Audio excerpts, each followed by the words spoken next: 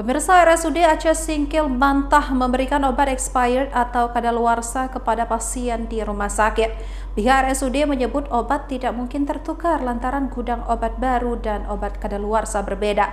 Lokasi obat kadaluarsa berada di gudang limbah B3, sementara obat baru berada di ruang instalasi farmasi. Badan Layanan Umum Daerah atau BLUD RSUD Aceh Singkil membantah tuduhan bahwa rumah sakit itu memberikan obat expired atau kadaluarsa kepada pasien.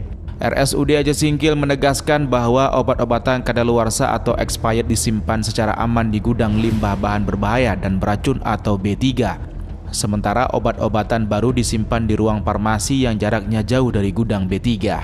RSUD Aceh Singkil memastikan tidak mungkin obat kadaluarsa diberikan kepada pasien dan mustahil obat kadaluarsa tertukar dengan obat baru.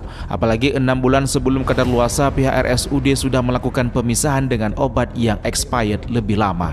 Pemisahan obat yang enam bulan sebelum expired itu dilakukan untuk efisiensi anggaran karena obat yang mendekati expired itu akan ditukar dengan obat yang baru melalui vendor meski hanya beberapa jenis obat saja yang berhasil ditukar.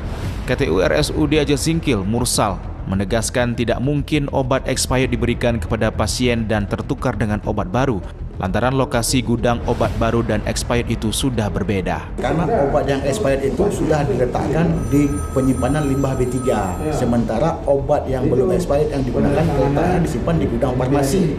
Dari gudang farmasi distribusikan ke apotek rawat dan apotek satelit farmasi di IGD. Untuk uh, rekomendasi DLH itu terkait obat yang expired disimpan di gedung limbah B3.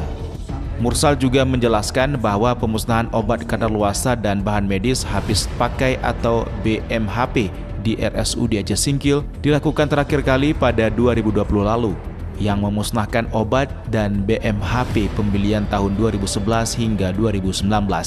Sementara obat kadaluarsa dan BMHP tahun 2020 hingga 2023 belum dimusnahkan lantaran harus melengkapi sejumlah prosedur terlebih dahulu.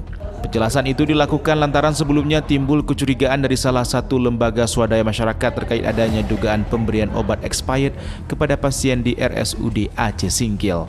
Dari Kabupaten Aceh Singkil, Suparman Munte, Ainus melaporkan.